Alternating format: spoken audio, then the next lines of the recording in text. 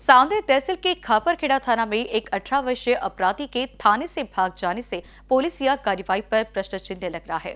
सूत्रों से मिली जानकारी के अनुसार खापरखेड़ा पुलिस की मार से आहत और देसी कट्टा रखने के मामले में गिरफ़्तार किया गया आरोपी पुलिस कस्टडी से भाग गया। इस घटना में जाँच अधिकारी एपीआई फाल्गुन खोडमारे और सिपाही शत्रुघ्न बहाने को पुलिस अधीक्षक हर्ष पुद्दार ने निलंबित कर दिया है। जबकि उक्त दिखावे की कार्यवाही दिखाकर खापरखेड़ा पुलिस के स्थानिक अपराध शाखा टीम वाहवाही लूट अपनी पीठ थपथपाने की चर्चाओं का बाज़ार कर्म है। वही करी कोई और भरी कोई ऐसा मुहावरा यहाँ सिद्ध हो गया है।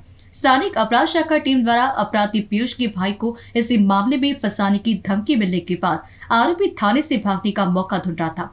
शनिवार की रात और रविवार की सुबह ड्यूटी मददगार ने गिरफ़्तार अपराधी के लिए पुलिस गार्ड तैनात नहीं किया था। घर पर गन न होने के बावजूद डीबी टीम ने पीयूष के घर से गन निकाल कर ले आई। इस वजह से पीयूष को डर सताने लगा। चोरी के मामले में भी पुलिस पीयूष को फंसाएगी और भाई पर भी यही मामला दर्ज करेगी। इस डर की वजह से आरोपी पीयूष खापरखेड़ा थाने से मौका मिलते ही पुलिस की आँखों के सामने से भाग खड़ा हुआ। स्थानिक अपराध शाखा पुलिस टीम की छोटे कार्रवाई की वजह से आरोपी पीयूष के अलावा एपीआई खोडमारी और सिपाही वाहने को निलंबित किया गया है। जबकि दिखावे की कार्रवाई करने वाली डीपी टीम वाहवाही लूटने की बात कही जा रही है। खापरखेड़ा डीपी पुलिस टीम ने इन तीन महीनों में वाहवाही लूटने और डीपी इंचार्ज पीएसआई का नाम रोशन करने के लिए ऐसा किया जा रहा है। ऐसा खापरखेड़ा थाने में कार्यरत कर्मचारियों का कहना है। पुलिस अधीक्षक के खौफ और खापरखेड़ा थाने में चल रहे अपराध शाखा के एकाधिकार रवैये के चलते कोई भी कर्मचारी आवाज़ उठाने से कतरा हैं।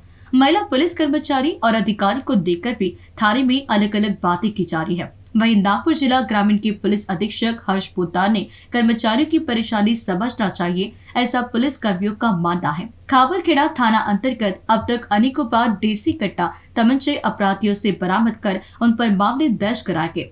फिर भी आए दिन तमंचे लेकर खुलेआम घूमने वाले छूट भैये अपराधियों पर खापरखेड़ा पुलिस अंकुश लगाने में सफल नहीं हो पा रही है, जिससे सामान्य लोगों में दहशत का वातावरण निर्माण है।